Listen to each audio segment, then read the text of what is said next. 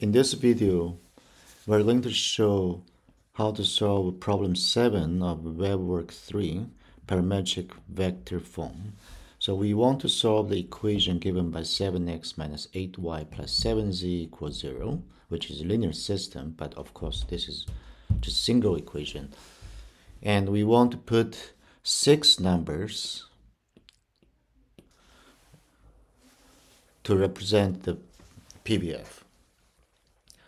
All right, so we recall that how to solve linear equation. This is homogeneous equation because the other side of equality is zero, and we want to find out, write out the augmented matrix, augmented matrix, which is 7, negative 8, 7, and we separate bar and 0 on the other side. There's only one layer or one line and uh, we want to reduce it to REF or RREF. But for this one equation, the only thing we want to have is the only staircase we can have is this. So the first non-zero element will be pivot and there's only one pivot because there's only one row and on the pivot column this is the only non-zero. And otherwise there's no element at all because this is just one line. So this is R R E F. Uh, it's not RREF but REF if you want to make it RREF you want to divide by 7 to everything you can get RREF but it's fine. We don't have to reduce it RREF. this is already REF so this is good enough for us now another thing we can analyze is for pivot column we call this as x1 which is because this corresponds to pivot column this is basic variable. And for x2 there's no pivot in this x2 column so this is called free variable. And x3 similarly free variable because there's no pivot.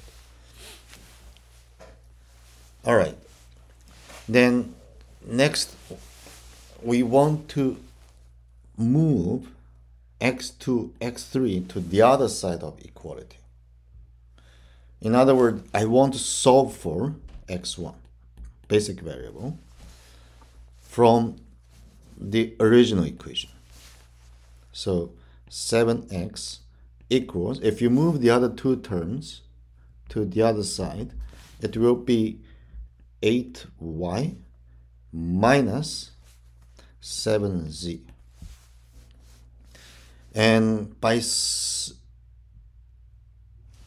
uh, I'm sorry, they use xyz instead of x sub 1, sub 2, sub 3, so I'm going to change the variables here.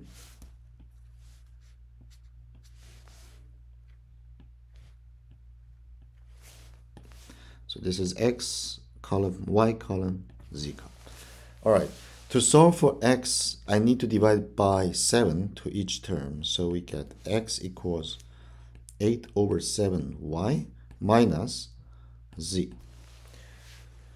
For PVF, we have to write down y and z, free variables, by itself. Just copy itself. z equals z. And another thing we want to do is for convenience, of course, this you are not. Uh, it's you don't have to do this, but usually you want align variables. So y variable and z variables on the other side for two free variables. So this this will be y column, this will be z column. So if we write this again, so x, y, z gives a vector on the right left hand side of equality. The other side is y column whose coefficient is 8 over 7, 1 and 0 times y. So we get 8 over 7, 0.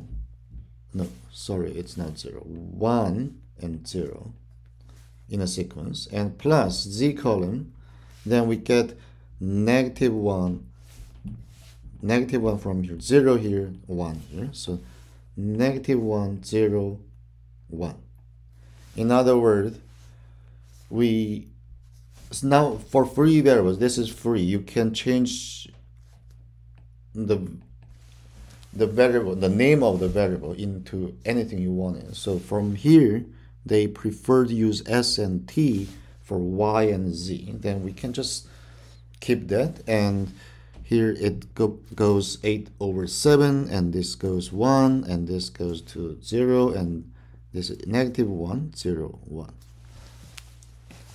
all right hopefully this can help you solve your own problem 7